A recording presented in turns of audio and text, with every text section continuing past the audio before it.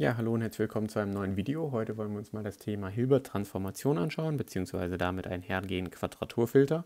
Ähm, vielleicht kurz vorab, was ist die Hilbert-Transformation, wo kommt sie her? Häufig verwendet in der Funktionsanalyse in der Mathematik, also eher weniger, in, in der Elektrotechnik würde man so von ausgehen, aber tatsächlich auch häufig verwendet in der Elektrotechnik, beziehungsweise in der Signalverarbeitung, was ja zum Teilbereich des Elektrotechnikstudiums gehört, also dementsprechend auch hier auf dem Kanal vertreten. Ähm, was macht die Hilbert-Transformation? Die ist eigentlich dafür da, ein äh, Signal gegebenes Signal ähm, umzuwandeln in ein anderes Signal, was man besser nutzen kann. Also ein reelles Signal umzuwandeln in ein analytisches Signal bzw. ein monogenes Signal. Ähm, was dafür genutzt wird, ist im Endeffekt eine Verschiebung, eine Phasendrehung von minus 90 Grad und plus 90 Grad, je nach Frequenzbereich.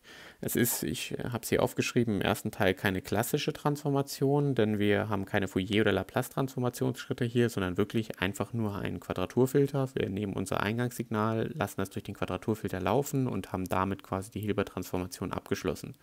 Jetzt fehlt quasi nur noch die Übertragungsfunktion des Quadraturfilters und dann wissen wir auch schon Bescheid, okay, Signal im Frequenzbereich multipliziert mit Quadraturfilter im Frequenzbereich und schon haben wir quasi unsere Übertragungsfunktion bzw. unsere Hilbert-Transformation durchgeführt.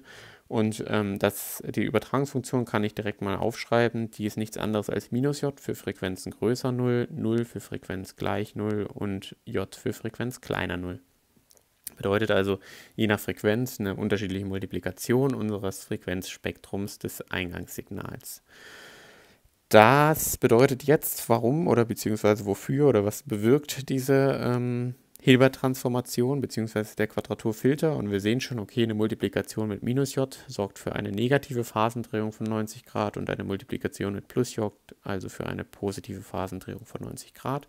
Und damit haben wir quasi auch unsere Operation von dem Quadraturfilter durchschaut. Er dreht also nur die Phase je nach Frequenzlage da man häufiger ja auch im Zeitbereich das Ganze operiert und auch den äh, Zeitbereich ähm, betrachtet, können wir uns auch den Zeitbereich ähm, des Quadraturfilters mal anschauen. Das kann man ja über die Impulsantwort des Quadraturfilters mal herausfinden. Wichtig ist hier, die ist relativ schwer herauszufinden. Man muss ja eine inverse Fourier-Transformation machen und es ist eben in Anführungszeichen schwer, wenn wir nur ähm, J und minus J nehmen. Deswegen behilft man sich da meistens mit einer Hilfsfunktion und ähm, da kann man quasi über die Hilfsfunktion leicht herausfinden, wie man eben auf die Quadraturformel, äh, Quadraturformel sag ich, auf den Quadraturfilter bzw. dessen Impulsantwort kommt. Und die Hilfsfunktion, die dafür hier verwendet wird, die lautet im Endeffekt genau wie vorher, minus j, 0 und plus j, nur noch multipliziert mit jeweils Term, also e hoch minus Alpha f und e hoch Alpha f, wobei Alpha irgendeine reelle Zahl ungleich 0 ist. Ähm, und Dementsprechend haben wir dann wieder folgende Hilfsfunktion hier aufgeschrieben für Frequenzen größer 0, kleiner 0 und gleich 0. Ähm, und was wir jetzt feststellen, beziehungsweise was diese Hilfsfunktion natürlich erfüllen muss, ist, dass für Alpha gegen 0 die Hilfsfunktion gegen die Quadraturfilterformel bzw. Übertragungsfunktion geht. Sehen wir auch, wenn Alpha gegen 0 geht, dann verschwindet ähm, hier oben dieser E-Teil und dieser E-Teil äh, E-Funktionsteil und wir haben nur noch minus j, 0 und j. Und davon können wir jetzt eben die Fourier-Transformierte bestimmen ähm, die, Entschuldigung, inverse Fourier transformierte und erhalten quasi die äh, Sprungfunktion, Impulsfunktion, Entschuldigung, und haben damit die Impulsantwort von unserer Hilfsfunktion. Wenn wir dann Alpha gegen 0 laufen lassen, kennen wir auch die Impulsantwort unserer generellen Funktion. Und das wäre hier im Endeffekt der Fall. Ähm, die Impulsantwort erhalte ich, indem ich invers Fourier transformiere, also in dem Fall meinen Filter nehme, mal e hoch j2 pft und das integriere über minus unendlich bis unendlich im Zeitbereich. Und ähm, das Ganze ergibt im Endeffekt nichts anderes als, ähm, ja, dass ich den, den Wert, den ich dafür nutzen muss, eben einsetze. Also im Endeffekt meine Übertragungsfunktion, die ich da gegeben habe, einsetze. Ähm, und das können wir gerade einmal machen. Ich sehe gerade allerdings, hier muss nicht die t stehen, sondern die f. Und das kann ich eben machen, indem ich das Ganze aufteile in ein Integral von minus 0 bis 0, ja, weil ich ja für Frequenzen kleiner und größer 0 das Ganze definiert habe. Also setze ich für minus unendlich bis 0 meine Funktion für Frequenzen kleiner 0 ein und das ist eben j multipliziert mit e hoch, und ich klammer es direkt mal vor, Alpha plus j 2pt multipliziert mit f df und dann eben minus j Integral von 0 bis unendlich, ja, die obere Grenze, e hoch in Klammern minus Alpha plus J2PF, äh, 2PT mal F df.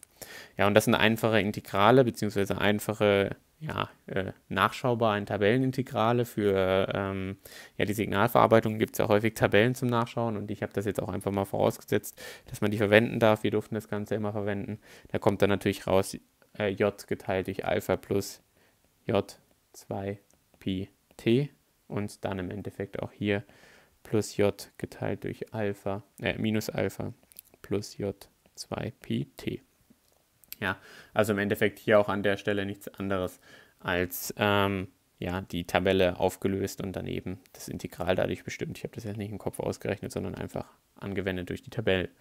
Und wenn man jetzt sich überlegt, okay, die Übertragungsfunktion, Hilfsübertragungsfunktion, die wir hatten, da lief ja für Alpha gegen 0 das Ganze gegen die Übertragungsfunktion der Quadraturformel, äh, des Quadratfilter, Entschuldigung, Quadraturfilter. Und ähm, wenn wir also hier auch Alpha gegen 0 laufen lassen, dann erhalten wir auch wieder die Übertragungsfunktion äh, unseres Quadratfilters. Und wir sehen jetzt erstmal für den Fall t gleich 0, wenn ich t also 0 setzen würde, dann hätte ich hier j durch Alpha plus j durch minus Alpha, das würde genau 0 ergeben. Das heißt, wir haben also schon mal 0 für den Fall t gleich 0, dass man sich nicht nachher wundert, was da passiert mit der Funktion.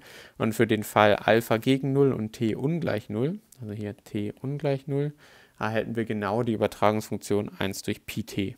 Könnt ihr gerne mal ausrechnen, aber klar, Alpha gleich 0 würde bedeuten, die Alphas gehen weg, dadurch kürzen sich die Js hier weg und wir haben im Endeffekt 1 durch 2 Pt plus 1 plus 2 Pt. Das ist 2 durch 2 Pt, das ist 1 durch Pt und das ist genau das, was hier steht. Ja, und da würde man jetzt sehen, okay, für t gegen 0 würde diese Funktion explodieren. Das geht ja nicht, das haben wir aber vorher schon ausgeschlossen, den Fall t gegen 0. Also dementsprechend alles konform.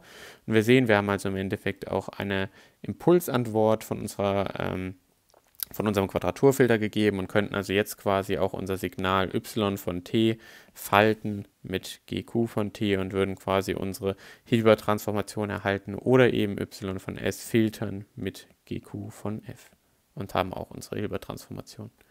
Das zu dem Thema. Falls es Fragen gibt, gerne in die Kommentare. Ansonsten bedanke ich mich fürs Zuschauen und